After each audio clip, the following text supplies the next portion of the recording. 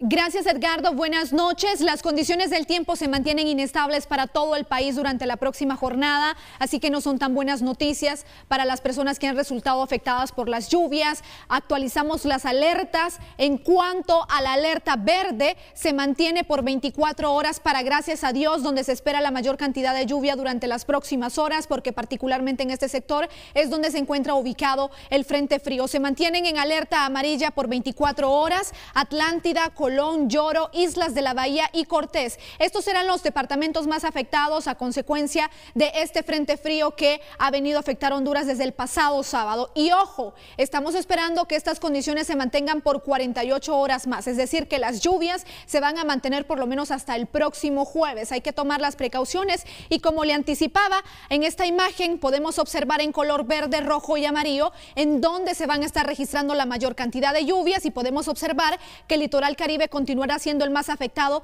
durante las próximas horas a consecuencia de este frío que continúa su desplazamiento por la costa norte del país. Actualmente se encuentra sobre, gracias a Dios, causando precipitaciones, pero se espera que durante las próximas horas esté disipando, pero nos dejará esa masa de aire frío y esa nubosidad sobre el país que será la causa de las lluvias que van a continuar registrándose durante las próximas 24 a 48 horas. Las temperaturas aquí en Tegucigalpa Esperamos una máxima de 27 grados centígrados. Nos mantenemos con la presencia de lluvias, sobre todo en los extremos del día, una mínima entre los 14 y los 15 grados centígrados. En San Pedro Sula, de igual manera, precipitaciones durante la próxima jornada. Una máxima de 29 y 30. Las lluvias podrían ser bastante intensas, con una mínima de 19 y 20 grados centígrados. En el sur del país no se han sentido mucho los efectos de este frente frío, pero de igual manera las lluvias se van a estar registrando y ya se ha sentido también un descenso en las temperaturas hasta ahora. Se ha pronosticado para mañana de 33 y 34 grados,